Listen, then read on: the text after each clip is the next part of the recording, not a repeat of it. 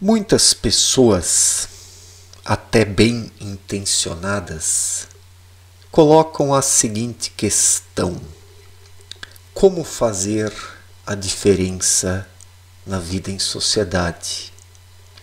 Numa sociedade de pessoas tão indiferentes, que não estão nem aí para as coisas, que não têm um critério de análise e de valorização de seus semelhantes, de suas atitudes e suas ações. Porque é fato que os valores estão bem invertidos. As polaridades estão invertidas. É. Hoje, ser uma pessoa ética, verdadeira, sincera, honesta, não conta muito. O que se destaca nos dias atuais são as maiores barbaridades comportamentais, morais e existenciais. Por incrível que pareça, por mais babaca que é o ser humano, quão mais babaca ele é, mais ele se destaca nos diferentes setores da vida, seja na arte, na intelectualidade, na política, nos incrementos tecnológicos, quão mais absurdo algo é, mais se destaca, mais é apreciado, aplaudido. E daí, nesta sociedade conturbada, de pessoas sequeladas existencialmente, surge a pergunta de alguns poucos como fazer a diferença nesta sociedade indiferente, que não se capacita a valorizar as coisas, que não se capacita a encontrar valores de fato nas coisas, nas pessoas, nas atitudes, nas ações, porque esse é o problema da nossa época. A maioria das pessoas não se capacita a encontrar um valor, a reconhecer um valor nos semelhantes. A inversão de valores é justamente resultante disso quando as pessoas não conseguem reconhecer valores. Quando as pessoas não reconhecem valores, os valores são invertidos. O certo vira errado, o errado vira certo, e dali por diante a vida em sociedade se torna caótica, decadente, promíscua. Né?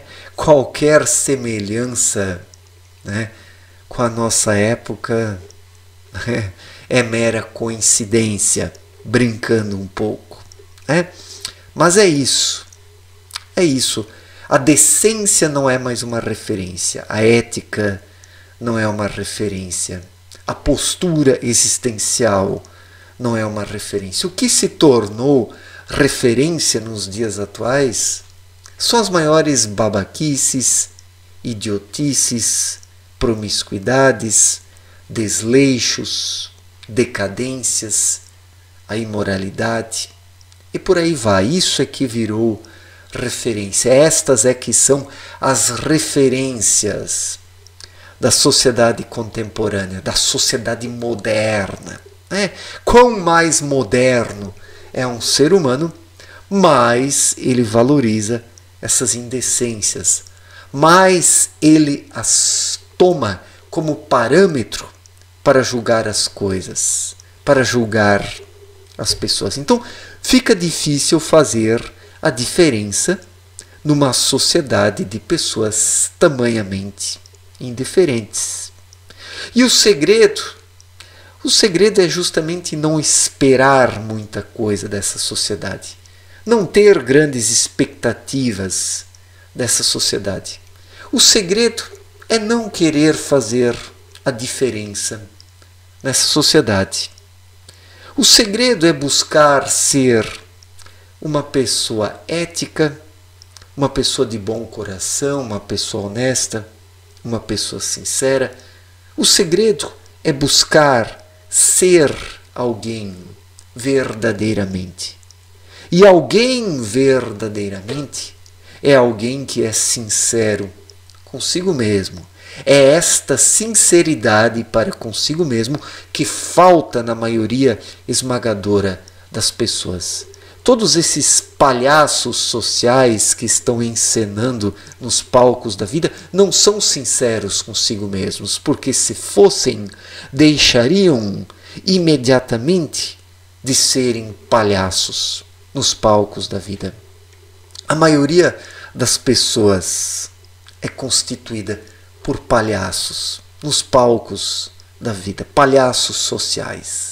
É, e no meio de tanta essa palhaça, no meio de toda essa palhaçada, no meio de toda essa palhaçada, quem não é palhaço não se destaca, não faz a diferença, não encanta, não embala as massas de palhaços que valorizam os mais palhaços.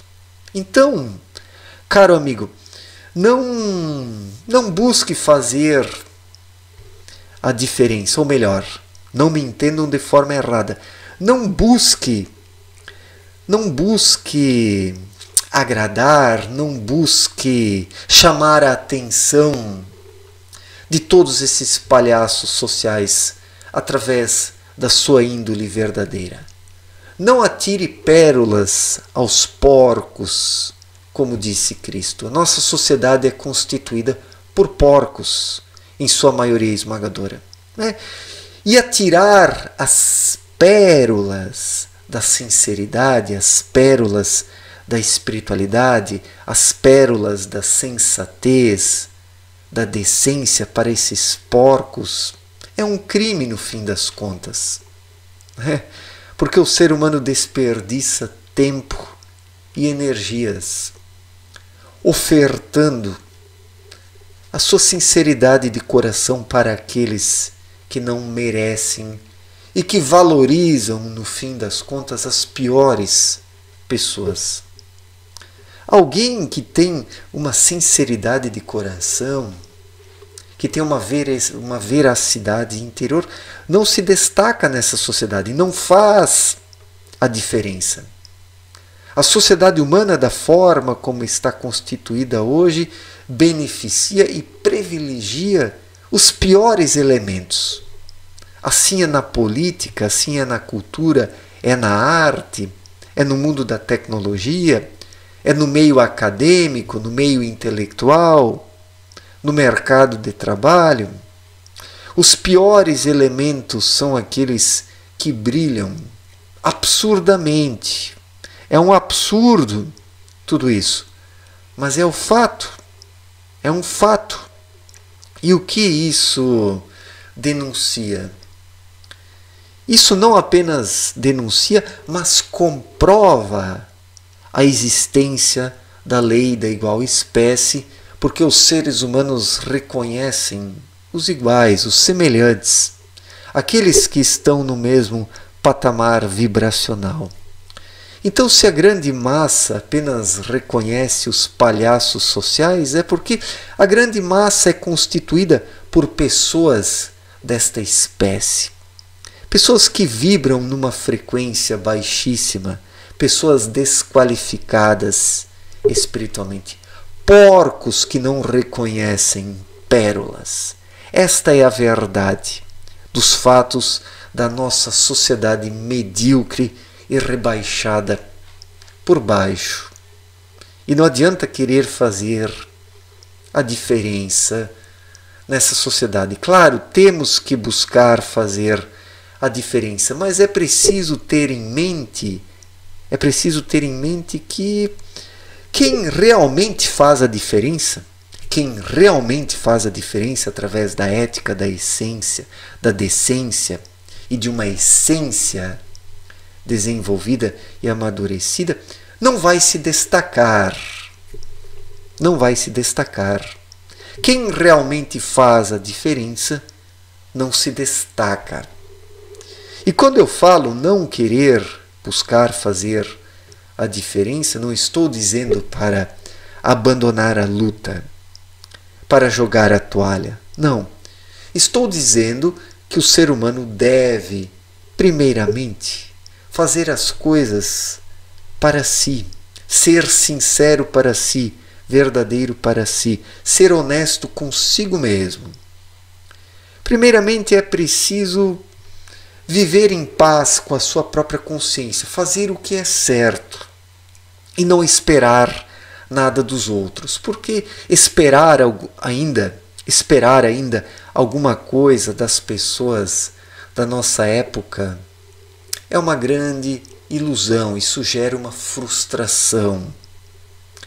Isso gera um descontentamento muito grande porque o ser humano inevitavelmente vai se frustrar esperando alguma coisa de seus semelhantes, de seus contemporâneos, das pessoas da época atual.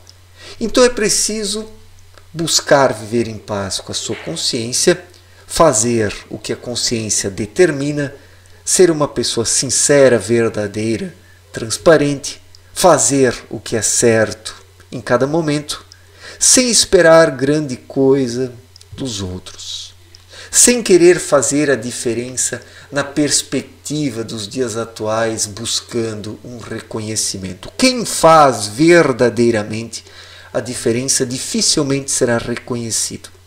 Será reconhecido por uma ou outra pessoa, mas não por um número maior de pessoas, porque as massas humanas reconhecem apenas os medíocres, porque nisso a lei da atuação, a lei da atração da igual espécie, desculpem, a lei da atração da igual espécie mostra a sua forma de atuação.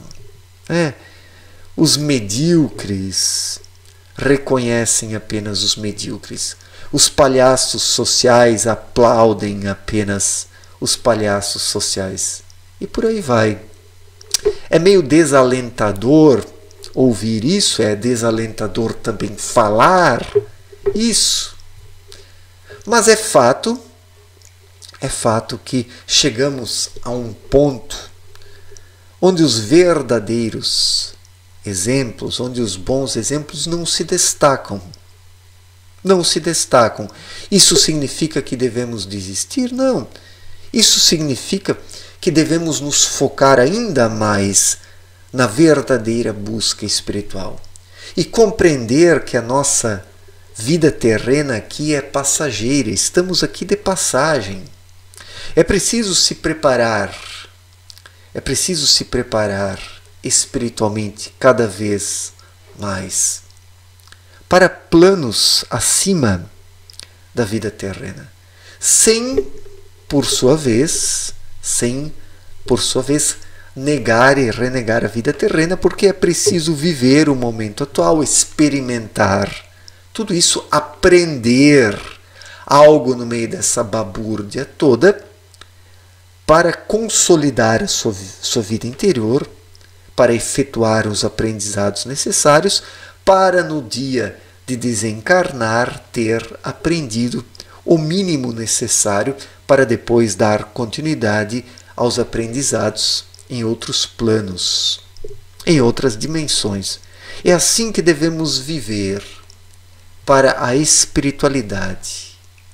Temos que viver para o nosso desenvolvimento espiritual e para as poucas pessoas que podem ser levadas a sério, que são pouquíssimas ao nosso entorno. São pouquíssimas. São raríssimas pessoas que podem ser levadas a sério. Para estas e para o nosso desenvolvimento espiritual que precisamos viver. Sem querer fazer a diferença no meio da grande massa. Façamos a diferença para os poucos que merecem ser levados a sério. Assim não atiramos pérolas aos porcos. Assim identificamos os nossos semelhantes e trocamos experiências, energias e radiações com aqueles que merecem. Isso permite um verdadeiro crescimento, uma agregação de forças e energias que permitem um crescimento mútuo daqueles que vibram numa frequência similar. É assim que precisamos viver, sem querer fazer a diferença no meio dos medíocres, porque os medíocres, sendo indiferentes, indiferentes a algo que excede a sua mediocridade, não reconhecem o que é diferente. É, não reconhecem a diferença. Os medíocres reconhecem apenas a sua própria mediocridade estampada nos palhaços sociais. E olhando para os palhaços sociais que encenam nos palcos da mediocridade, os medíocres se reconhecem a si mesmos. E daí não espanta que os piores exemplos são aqueles que vingam na política, na economia, na cultura, na arte, na religião, na espiritualidade bagaceira e por aí vai. Os piores exemplos são aqueles que vingam porque uma sociedade de pessoas medíocres não consegue reconhecer, não consegue reconhecer nada para além da sua própria mediocridade. A nossa sociedade está estagnada, estacionada, paralisada e atolada neste lodo existencial de pessoas lodosas, de porcos que reviram na lama da mediocridade, incapazes de reconhecer as pérolas que são lançadas. Então, ofereça as pérolas da sua vida interior e espere algo dos poucos que podem ser levados a sério. Diante destes, busque fazer a diferença, busque chamar a atenção destas poucas pessoas para a necessidade de se desenvolver espiritualmente. No demais, da grande massa humana, da grande massa humana, não é possível esperar muita coisa. E pensar assim não é egoísmo. Pensar assim é ser realista. Guardar as suas energias e suas forças e o seu tempo para algo que presta.